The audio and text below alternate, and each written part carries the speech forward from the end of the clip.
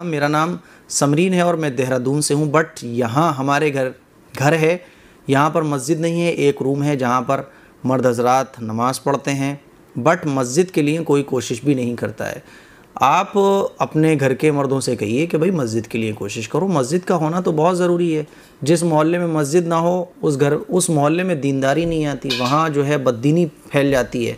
इसीलिए वहाँ के लोगों को चाहिए कि उसी कमरे को मस्जिद बना दो या कोई और जगह छोटी सी छोटी सी लेके जहाँ लोग आसानी के साथ नमाज़ पढ़ सके, मस्जिद बनाओ। मस्जिद तो अल्लाह के घर हैं। मस्जिद तो दीन के किले होते हैं, क्योंकि यही मस्जिद से फिर दीन की बातें लोगों तक पहुँचती हैं, बच्चे कुरान पढ़ना सीखते हैं, इसीलिए मस्जिद तो होना चाहिए। और ये बात आप अपने घर के लोगों से कहें, समझाइए, ठीक है? हो सके तो मुझे मेल कीजिएगा, मैं उनसे बात करूँगा और जो भी हो सकेगा इन मैं कोशिश करूँगा कि अल्लाह ताला मेरे ज़रिए वहाँ मस्जिद तामीर करवा दे।